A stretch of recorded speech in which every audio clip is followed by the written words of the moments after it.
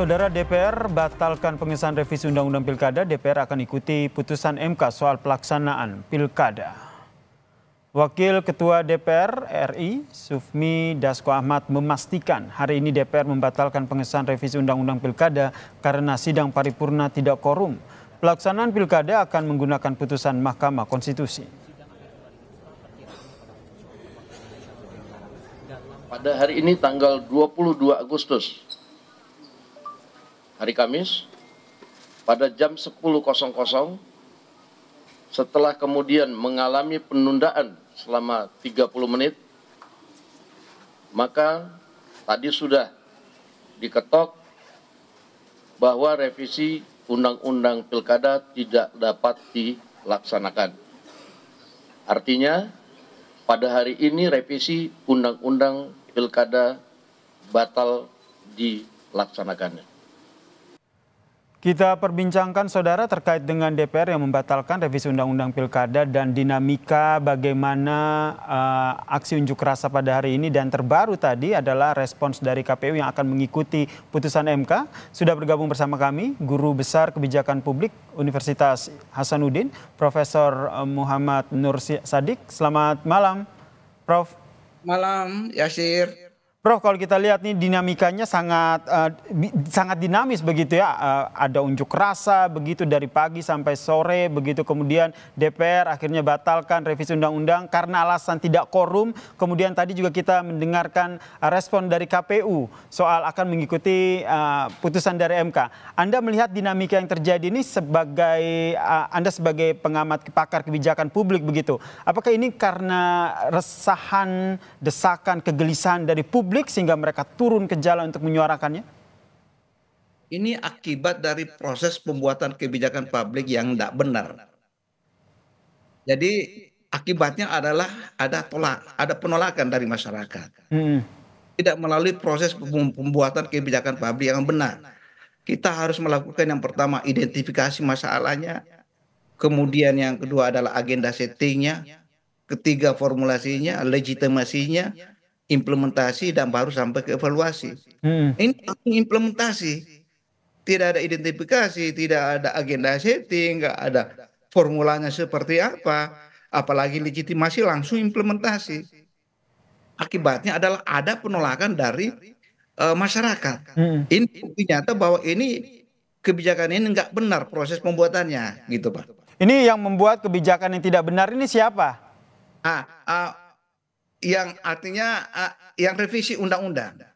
DPR berarti ya? DPR-nya. Hmm. Yang benar itu dari Mahkamah Konstitusi. Itu sudah benar. Ya, harusnya yang aktif di sini bukan DPR-nya. KPU-nya yang aktif bagaimana mengimplementasi kebijakan daripada Mahkamah Konstitusi yang menurunkan ambang batas untuk mencalonkan seorang bupati, gubernur, wali kota untuk menjadi kepala daerah. Hmm.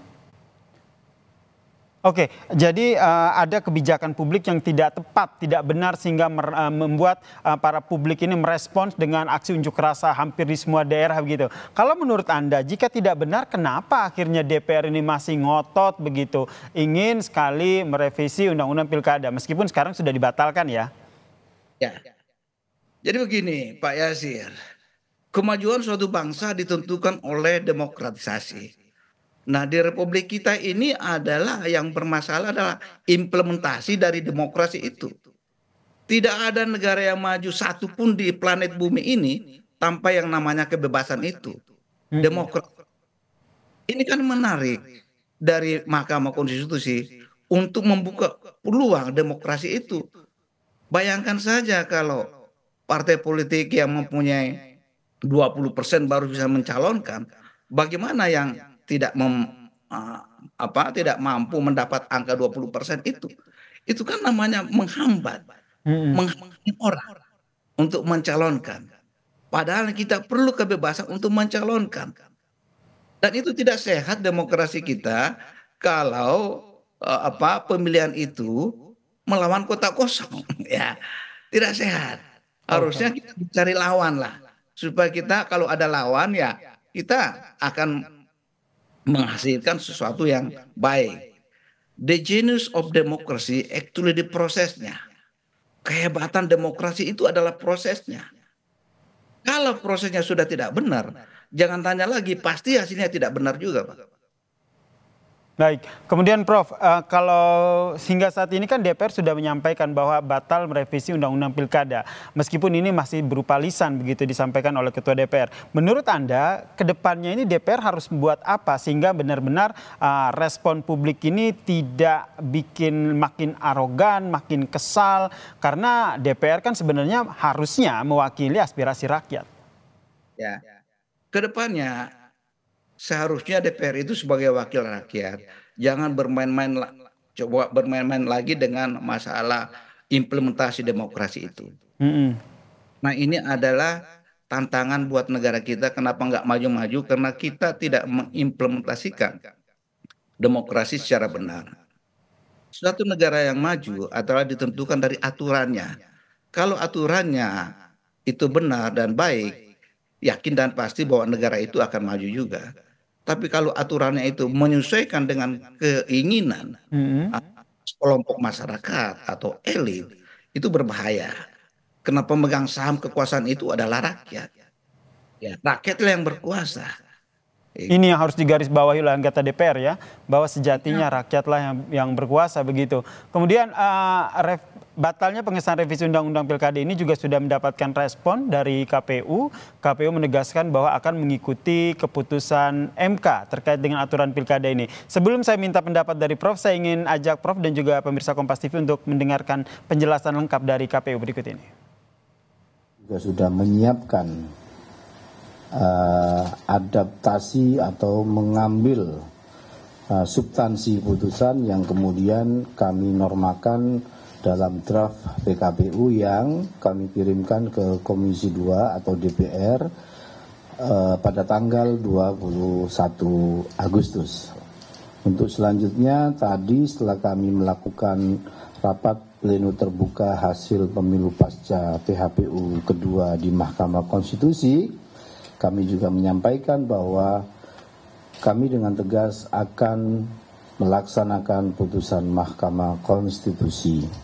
Adapun langkah-langkah lanjutan berkaitan dengan yang kita lakukan terkait dengan tindak lanjut putusan ini, kami melakukan langkah prosedur tertib prosedur yaitu dengan melakukan konsultasi dengan melakukan pembahasan di Komisi 2 atau di DPR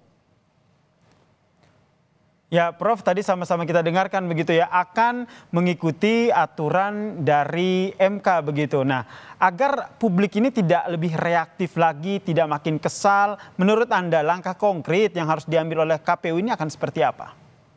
Langkah konkretnya KPU harus mengimplementasikan kebijakan dari Mahkamah Konstitusi mm-hmm. dan harus mengadakan pembicaraan dengan DPR khususnya Komisi 2 dalam pelaksanaan uh, pelaksanaan uh, proses pilkada yang mengimplementasikan kebijakan atau keputusan dari Mahkamah Konstitusi yang menurunkan ambang batas itu dari 20% ke 7,5% itu ya serasa itu.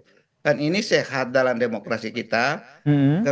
kebebasan kepada partai politik untuk mengusulkan beberapa calon baik itu calon gubernur ke calon wali kota dan calon bupati di seluruh Indonesia. Sekali lagi kita perlu kebebasan kita perlu demokrasi. Ukuran kemajuan suatu negara ditentukan dari tingkat kebebasan yang ada dalam negara itu Baik, uh, terima kasih Guru Besar Kebijakan Publik Universitas Hasanuddin Profesor Muhammad Nur Sidik telah berbagi perspektif terkait dengan bagaimana reaksi publik atas uh, revisi Undang-Undang Pilkada dan terbaru tadi sama-sama kita dengarkan DPR yang telah membatalkan revisi Undang-Undang Pilkada. Terima kasih, Prof. Terima kasih. Assalamualaikum, selamat malam Pak Yasir.